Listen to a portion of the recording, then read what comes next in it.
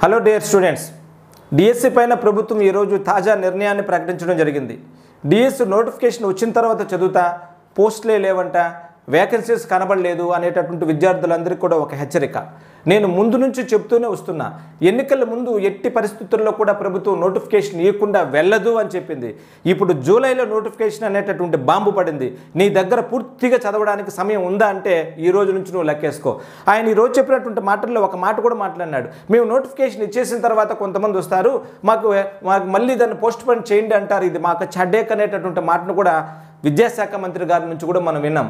అందుకే నేను చెప్తున్నా రెండు వేల మూడు నుంచి రెండు వేల ఇరవై మూడు ఈ సంవత్సరం వరకు దాదాపుగా ఇరవై సంవత్సరాలుగా డిఎస్సి విద్యార్థులపైన ప్రత్యక్ష అనుభవం కొన్ని లక్షల మందికి బోధించినటువంటి అనుభవం కొన్ని వందల ఈనాళ్ళు ఆర్టికల్స్ రాసినటువంటి అనుభవంతో నేను చెప్తున్నాను ఇంకైనా కానీ మీరు కానీ త్వరపడకపోతే ప్రతిరోజు ప్రణాళికబద్ధంగా ఈ రోజు నుంచి నువ్వు కానీ పుస్తకం తీయకపోతే చాలా ప్రమాదాన్ని ఎదుర్కోవడం జరుగుతుంది. ఎందుకంటే దీంతో పాటు ప్రాథమికమైనటువంటి అంచనాతో పాటు ఎన్ని పోస్టులు ఉండడానికి అవకాశం ఉంది మీ జిల్లాలో ఎన్ని పోస్టులు అనేటటువంటి సాధారణమైన విషయాన్ని కూడా మీతో నేను పంచుకో ఇప్పుడు పంచుకుంటున్నాను.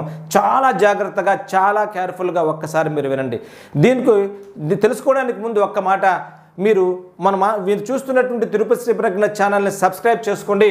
మీకు చివరి రోజు డిఎస్సి జరిగే చివరి రోజు వరకు మీకు అప్డేట్స్ ఇవ్వడం అనేటువంటిది జరుగుతుంది. దీంతోపాటు మీ ఏ డౌట్ వచ్చినా మీకు క్లారిఫై చేసుకోవడానికి డిస్క్రిప్షన్లో ఉండేటటువంటి వాట్సాప్ లింక్లో జాయిన్ అవ్వండి. మీకు అప్ టు డేట్ ఇన్ఫర్మేషన్ అందులో ఇస్తూనే ఉంటాం.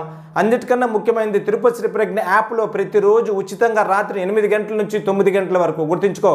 ఉచితంగా ప్రతిరోజు రాత్రి ఎనిమిది గంటల నుంచి తొమ్మిది గంటల వరకు ఉచిత పరీక్షలు ఆన్లైన్లో ఇస్తున్నాం డిఎస్సికి సంబంధించి జాగ్రత్తగా ప్రతి విద్యార్థి కూడా ఆ సమయాన్ని కేటాయించుకుంటే మీకు తెలియకనే సిలబస్ని నేను కవర్ చేసే ప్రయత్నం చేస్తాను.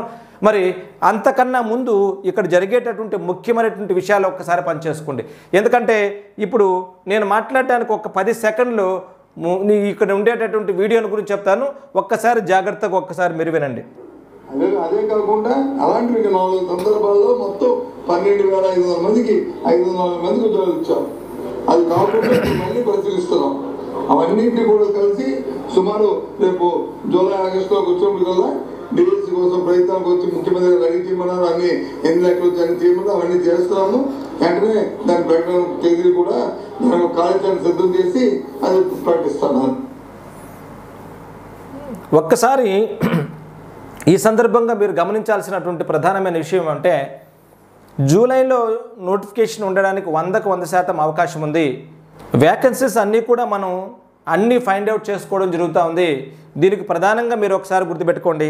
చాలామంది మనతో మాట్లాడుతుంటారు ఇబ్బంది పడుతుంటారు. ఎక్కడున్నాయి? ఖాళీలు ఎక్కడున్నాయి? ఖాళీలు ఎక్కడున్నాయని. రాజు దలుచుకుంటే కొరడా దెబ్బతులు కుదవలేదన్నట్లుగా నా ఇరవై సంవత్సరాల అనుభవంతో చెబుతున్నా ఈ ఖాళీలన్నీ కూడా ఇప్పుడు చెప్పేటటువంటి మాటలన్నీ కూడా ఈ బోర్డు పైన చూపించేటటువంటి ఇప్పుడు తాజాగా వచ్చినటువంటి అంశాలన్నీ కూడా పర్మనెంట్ కాదు. ఏదైతే ఎన్నికలు జరగడానికి ముందు ఒక సమావేశాన్ని ఏర్పాటు చేస్తారో అది త్వరలోనే జరుగుతుంది. జూన్ మే జూన్లోనే దీనికి సంబంధించినటువంటి ఒక సమాచారం జరుగుతుంది. ఎందుకంటే ఎమ్మెల్సీ ఎలక్షన్స్లో వచ్చినటువంటి మార్పును ప్రభుత్వం స్వీకరించి విద్యార్థులకు ఏదైతే కావాలో అది ఇస్తే పోలా అనే నిర్ణయానికి వచ్చింది. ఖచ్చితంగా వందకు రెండు వందల శాతం నోటిఫికేషన్ ఇచ్చి తిరుగుతాడు ఆయన మాటలతోనే ఇప్పుడు చెప్పాడు. ఆ రోజు నాటికి ఎన్ని ఇవ్వాలని ఒక నిర్ణయానికి వస్తారు? ఎన్ని పోస్టులు ఇవ్వాలా? ఐదు వేల పదివేల పదిహేను వేల ఒక నిర్ణయానికి వస్తారు. ఆ నిర్ణయానికి వచ్చిన తర్వాత ఒక ఫిగర్ ఫిక్స్ చేస్తారు. ఆ ఫిగర్ ఫిక్స్ చేసిన తర్వాత దాన్ని ఎలా ఫిల్ చేయాలో మళ్ళీ ఆలోచిస్తారు.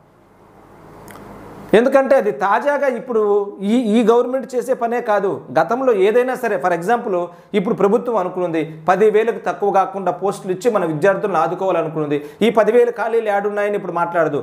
ఎన్నో ఉంటాయి. ఇప్పుడు మీరు ఒకసారి గమనించండి ఏకోపాధ్యాయ పాఠశాలలు ఉన్నాయా? రిటైర్మెంట్ ఖాళీలు రెండు వేల ఇరవై నాలుగు రిటైర్మెంట్ ఖాళీలు వస్తాయా? ఈ మధ్య కాలంలో వివిధ రకాలుగా కారణాలతో మనకు టీచర్లు అబ్స్కాండెడ్ చనిపోయిన వాళ్ళ ఖాళీలు వస్తాయా? ఇవేది లేకపోతే ఏముంది? హామీ పత్రాలు ఇస్తాడు. అంటే ప్రభుత్వము ఒకటే ఆలోచన. ఇవ్వాలి అనుకుంటే పలు రకాలైనటువంటి మార్గాల నుంచి ఎతికి ఉద్యోగం నీ చేతిలో పెడుతుంది. అయితే నువ్వు సిద్ధంగా ఉన్నావా? నీ తల్లిదండ్రులు నీకు జాబ్ వస్తుందని ఆలోచన చేస్తున్నారు. నువ్వు ఆలోచన చేసావా నీ స్నేహితులు వెయిట్ చేస్తున్నారు. వాళ్ళకి సమాధానం చెప్పావా? మీకు కుటుంబం ఉంది అది నీ నీ ఆదరణ కోరుకుంటుంది దానికి ఏం సమాధానం చెప్తావు?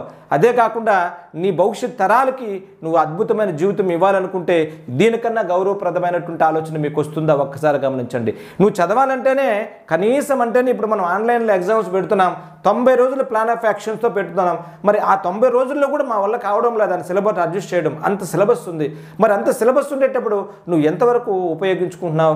నువ్వు పూర్తిగా చదివేసి ఈ పుస్తకంలో ఉండే దాంట్లో నుంచి ఏ బిట్ వచ్చినా కూడా నేను రాస్తాననే ధైర్యం ఉంటే ఈ రోజు నుంచి నువ్వు ఏం చెప్పినా ఒకటే. అయితే నాకు తెలుసు ఆ పరిస్థితి ఎనభై నుంచి తొంభై శాతం మంది పిల్లలకు లేరు.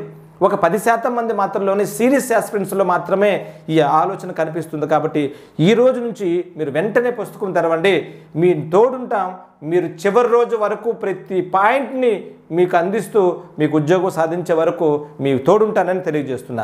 మరి ఒక అనధికారికమైన డేటా వచ్చింది. ఈ డేటా గురించి ఇప్పుడు నేను సరిగా మాట్లాడను. ఎందుకంటే దీనిపైన పూర్తి క్లారిటీతో మళ్ళీ రేపు ఒక వీడియో చేస్తాను మీకోసం. ఎందుకంటే తాజాగా జస్ట్ ఒక టూకీగా మాట్లాడాలంటే ఇక్కడ కొన్ని రకాలైనటువంటి క్యారీ ఫార్వర్డ్ వ్యాకెన్సీస్ అని ప్రజెంట్ అవైలబుల్ వ్యాకెన్సీస్ అని అక్కడ ప్రజెంట్ ప్రజెంట్ మనకి ఇవ్వడానికి అవకాశం ఉండేదని టోటల్గా ఇచ్చారు. రమారమగా మీరు కానీ గమనిస్తే ఏడు వేల డెబ్బై తొమ్మిది వ్యాకెన్సీస్ మన ఇక్కడ కనిపిస్తున్నాయి.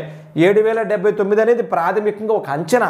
ఎన్ని పోతా అంటే ఇప్పుడు ఇప్పుడు డిఎస్సి నైంటీ ఎయిట్ వాళ్ళకు నాలుగు వేల నూట అరవై తొమ్మిది పోస్టులు అవి తీసేస్తే ఏడు వేలు వరకు ఇవ్వచ్చని ఒక అంచనా. ఇది అధికారం అంటే ఇది కూడా కాదు. ప్రతి జిల్లాలో బాగానే చూపిస్తున్నారు. చిత్తూరు జిల్లాలో హైయెస్ట్గా ఒక వెయ్యి మూడు వందల ఎనభై ఒక్క పోస్టులు ఒక వెయ్యి మూడు వందల ఎనభై ఒక్క పోస్టులు ఉన్నట్టుగా ఉంది. కానీ దీనికి అన్నిటికీ శాస్త్రీయ ఆధారాలను అన్నీ సేకరించిన తర్వాత ఎందుకంటే నేను చెప్పేదాన్ని ప్రతి ఒక్కరూ చాలామంది రాసుకుంటారు కాబట్టి మళ్ళీ మీరు ఇబ్బంది పడకూడదు.